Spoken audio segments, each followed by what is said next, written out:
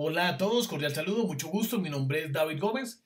Estoy con ustedes acompañándolos en esta segunda presentación de la temática que estamos viendo y es el paraatletismo. Em, esta presentación, en esta presentación vamos a desarrollar todo lo referente a la clasificación funcional en este deporte. Eh, recordando que la colaboración, la colaboración del profesor Alonso Mina García en el desarrollo de los contenidos de esta presentación.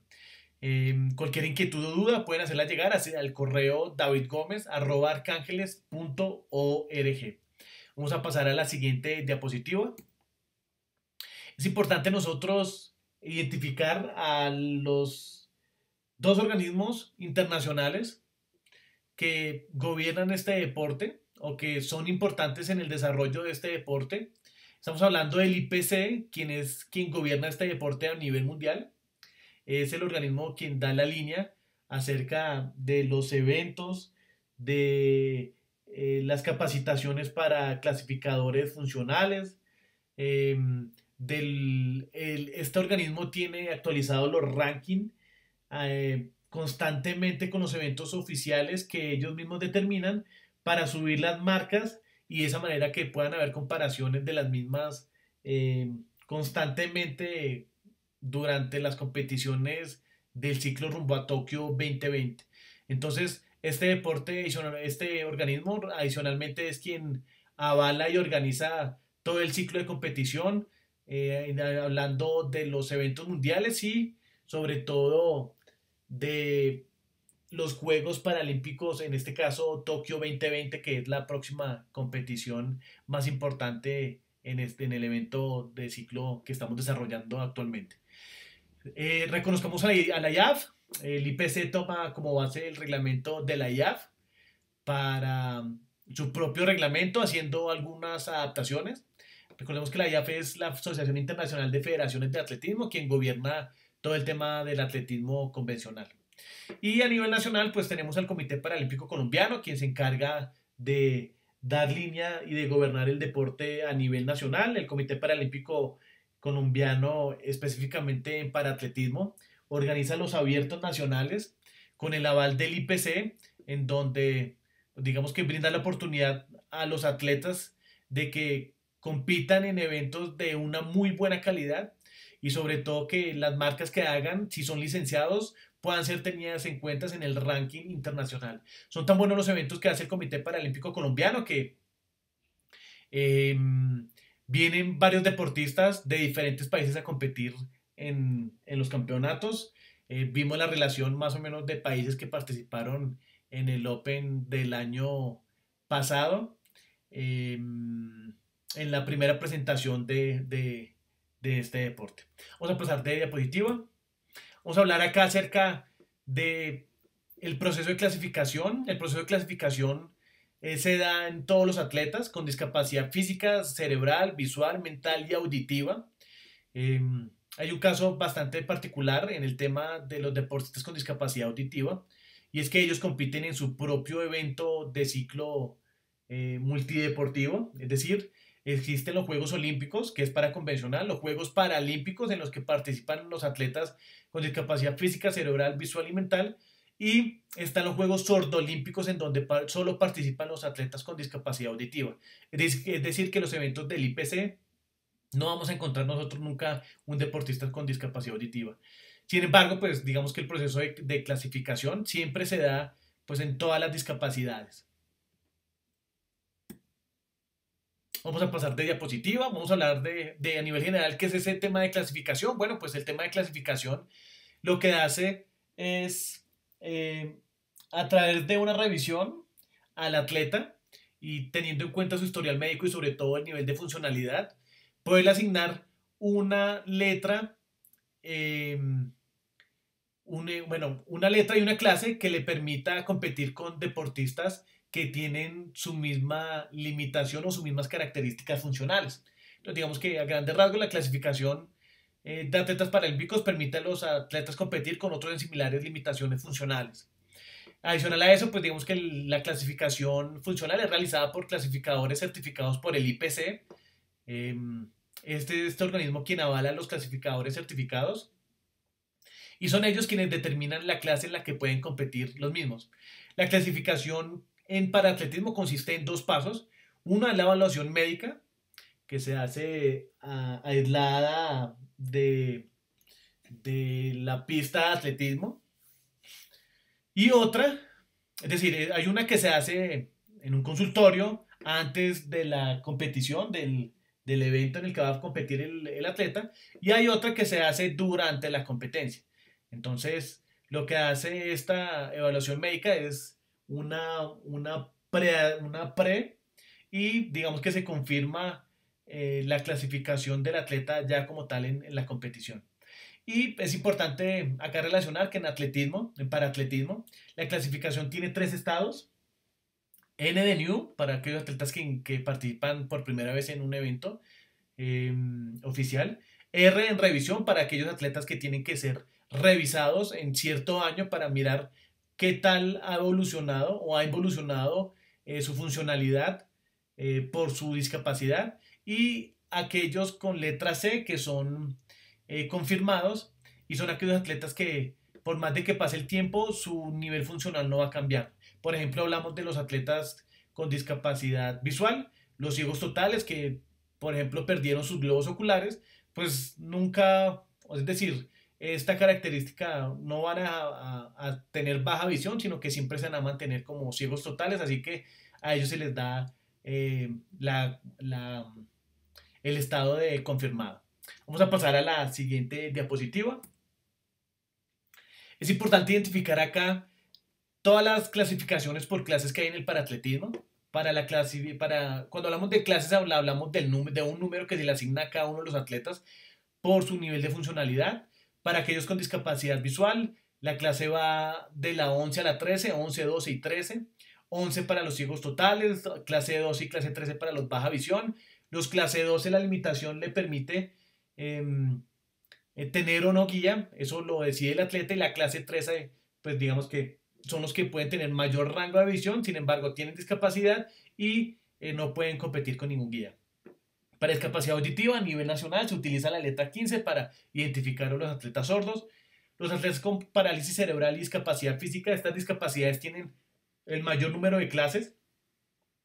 Por ejemplo, la 31 y la 34 es para aquellos atletas que tienen parálisis cerebral y que compiten en silla, entonces pueden ser 31, 32, 33 o 34.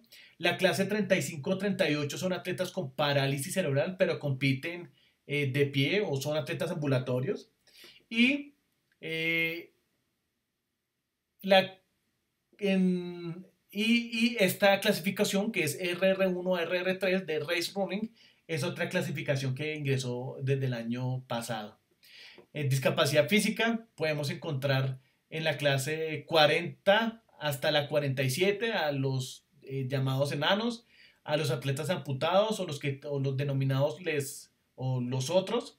Entonces hablamos de la clase 40 para enanos, 41 para enanos un poco más altos, la clase 42 a 44 para amputados de piernas y la clase 45 a 47 para amputados de brazos. Em, eh, en la discapacidad física, eh, las clases de 51 a 54 son para aquellos atletas que compiten en pista. Em, la clase 51 hasta la 57 para aquellos atletas en de ruedas que compiten sentados y la clase 61 a 64 son atletas con amputaciones en miembros inferiores que participan en pista y campo. Acá podemos, eh, si, hemos visto de pronto un atleta con alguna prótesis en las piernas, está tiene la clase, puede tener la clase de la 61 a la 64. Y digamos que finalmente en la discapacidad intelectual podemos encontrar a los atletas em, con clase 20, aquellos atletas con discapacidad intelectual deben tener un coeficiente intelectual de menos de 75. Entonces, esto a grandes rasgos es la clasificación por clases en paraatletismo. Bien, pasamos entonces a la siguiente diapositiva. Entonces, sumado al número que vimos en la diapositiva anterior, cada atleta recibe en su clasificación, eh, antes de ese número, la letra T o la letra F. Entonces hablamos que la letra T se asigna para los atletas que van a participar en pruebas de pista. La T viene de track en inglés, pista. Entonces, aquellos atletas que participan en pruebas de velocidad, semifondo y fondo y los saltos, eh, siempre van a tener una letra T antes de la clase que vimos anteriormente. Y los atletas que participan en las pruebas de campo van a tener una F antes de la clase deportiva que observamos en la diapositiva anterior. Entonces, por ejemplo, para la clase 11, 12 y 13, si vamos a hablar de un atleta con discapacidad visual que va a participar en 800 metros, la clasificación entonces es T11. Si esa misma atleta va a participar en pruebas de campo, la clasificación cambia a eh, F11. Es importante referenciar esto. Todas las variables de las letras y las clases las podemos encontrar en esta diapositiva. Entonces, discapacidad visual pueden ser FOT, 11, 12 o 13. Discapacidad auditiva, auditiva T15 o F15. Discapacidad cognitiva T20 o F20. Discapacidad eh, parálisis cerebral, podemos encontrar a los atletas que compiten en silla en F32 a F34. Los caminantes de, de T35 a T38 o, F3, o F35 a F38 Discapacidad física podemos encontrar F40-41, los que tienen baja talla solamente compiten en pruebas de campo.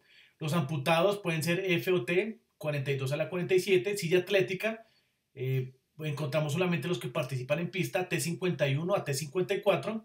Los amputados los encontramos con la letra FOT 61 a 64 y los que en silla participan en eventos de lanzamiento desde la F52 a la F57. Es decir, que un atleta puede tener dos eh, clasificaciones, entre comillas. Es T11 si participa en pruebas de, de pista y F11, por ejemplo, para aquellos deportistas con discapacidad visual que compiten en pruebas de campo.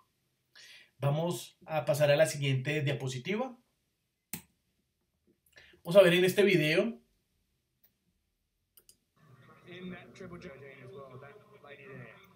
a deportistas colombianos en competiciones oficiales.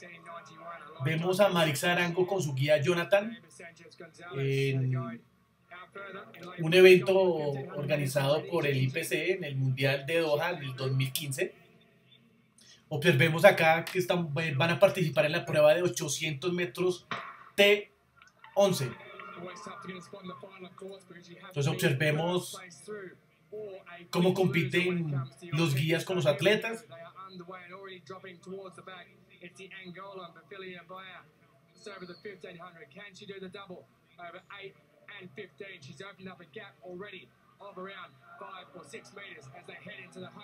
El atleta, un guía está unido por una cuerda.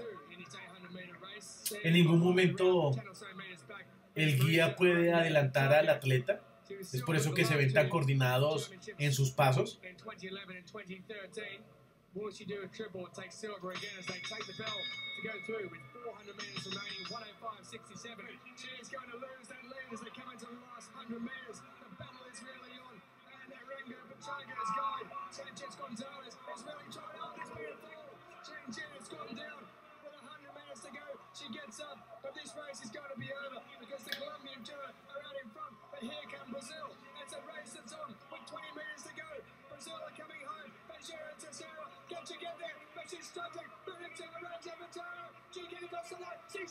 Across the.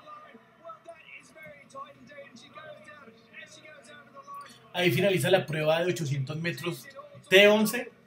Eh, me parece que puede haber una falta del guía, eh, ya que lo que hizo fue empujar a, a su a Marixa para que pasara en el primer lugar. En los eventos pueden haber caídas, al igual que en atletismo convencional. Así observemos el ritmo de los atletas y demás. Ya casi Marixa que se estaba cayendo antes de llegar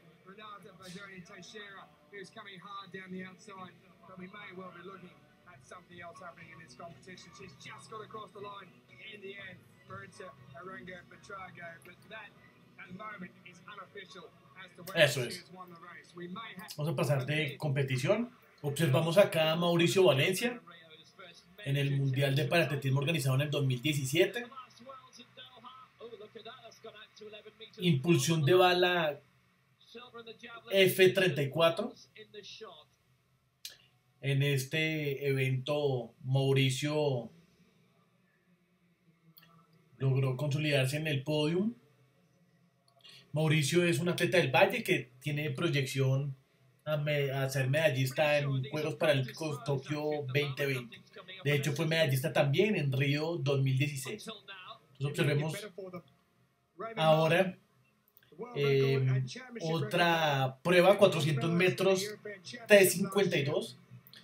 Vamos a observar a Cristian Torres, uno de los mejores em, deportistas que tenemos en las pruebas de pista en silla. Él es de, de Bogotá. World champions, Paralympic champions, champions in general. Observemos cómo es la partida, cómo es la dinámica de esta competición. 14th of 18 gold medal events this evening. What a Tuesday night.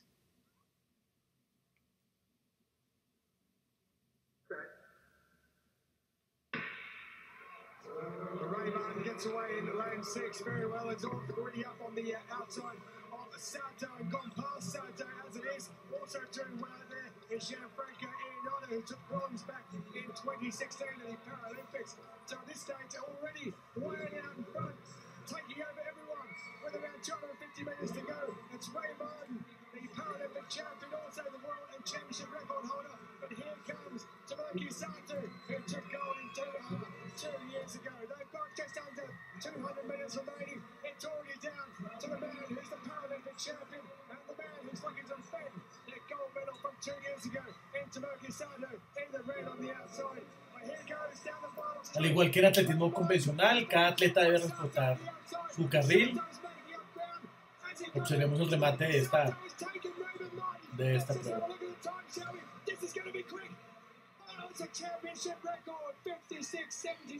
Bien, esta fue la competición de 400 metros, clase T52. Vamos a pasar de diapositiva. Y finalmente, pues vemos acá el crédito de las imágenes y los videos. Recuerden que cualquier inquietud, duda o comentario pueden hacerla llegar al correo davidgomez.arcángeles.org. Eh, nos encontramos en una próxima presentación. Un abrazo, felicidades.